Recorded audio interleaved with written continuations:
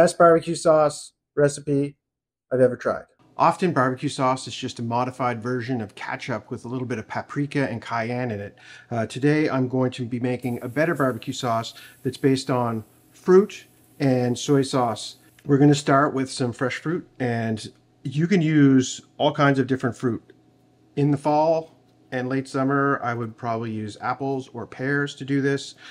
I've also used peaches, plums. You can use whatever fresh fruit you want. You want a solid two cups uh, of fruit. I'm going to use rhubarb today because it's rhubarb season. And I've cut the rhubarb small because rhubarb tends to have long fibers in it. I'm going to add in two cups of rhubarb chopped.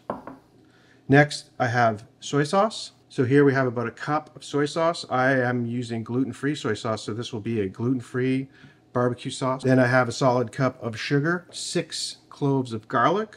I have some green onions or scallions or chives, a solid tablespoon of black pepper, two tablespoons of rice wine vinegar. And now for my heat, I'm going to use some sriracha. This is about three tablespoons of sriracha, but you could also use sambal oelek or any sort of like spicy chili type of um, flavoring. You could also just use chili powder or paprika or cayenne in this, but usually I use sambal oelek or sriracha. Put that in. And then I'm going to use some maple. This is a really interesting maple that I'm going to use that is uh, whiskey barrel aged. So it has a little bit of a smoky whiskey barrel flavor to it. But any maple syrup will do. If you don't have maple syrup, you could use corn syrup or you could use molasses and I'm adding about 50 grams or about three solid tablespoons of that. So the next step is we're going to put this on the blender and we're going to blend it up nice and fine.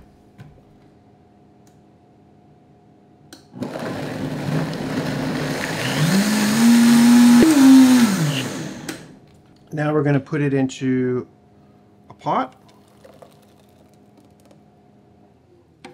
and we're going to bring this to a simmer. We're going to simmer it for about 15 to 20 minutes, uh, and then we're going to put it back in here. So we don't have to wash this. We're just going to leave this hanging out here. And this has a lot of sugar and stuff in it, so I don't want to cook it too hot. I'm just going to bring it up to a simmer. And then let it go for, like I said, 15, 20 minutes. And then we'll bring it back to the to the grinder. Now, at this point in time, if you wanted to make this uh, a bit more uh, Korean style barbecue sauce, you would add ginger and you would add some toasted sesame oil. So if you added three tablespoons of toasted, toasted sesame oil and a nub of ginger, you would grind that up in here and then you are going to get a more Korean style of barbecue sauce. Okay, so I have my barbecue sauce. It's darkened up. It's simmered for a while. And now I'm going to put it back in the blender.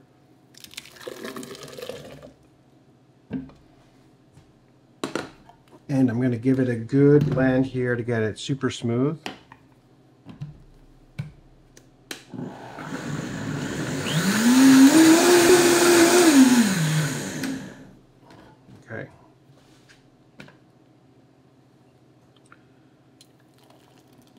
So here we go. So it's cooked up and it's kind of a ruddy brown color right now, but that's the air bubbles. And when those air bubbles dissipate, it'll go back to a darker color uh, and it'll probably thicken up too. If this isn't thick enough for you, you could simmer it a little longer.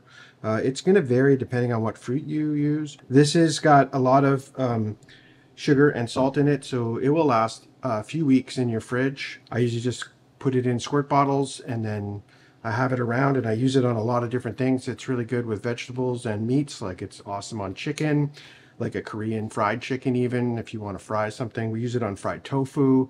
Um, it's really good. It's really versatile. It has a lot of zip to it. So I'm going to let this cool down and then I'm going to try a bit. Oh yeah, it's got tang and zip and heat.